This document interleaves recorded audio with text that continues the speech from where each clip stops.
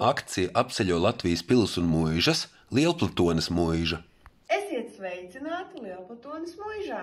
Arī mēs, kā jau katru gadu, aktīvi piedalāmies akcijā apceļo Latvijas pilis un mūžas.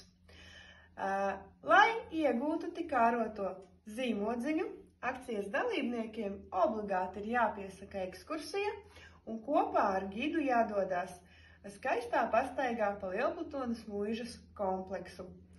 Tā pastaigas ietvaros tiks iedots uzdevums, kurā būs jāatrod daži skaisti mūžā esoši objekti.